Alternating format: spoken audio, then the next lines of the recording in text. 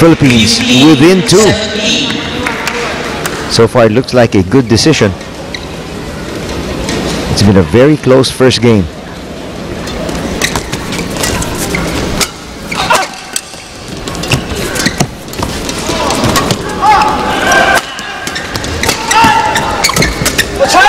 Look at Boe attacking with abandon. And again getting another point for the Philippines. 60, 70. Watch this piece of action. Excellent setup. And Boe quickly at the net. Manipong tried to react, just not quick enough. And there on your screens, Manipong, Jongjit, the anchor.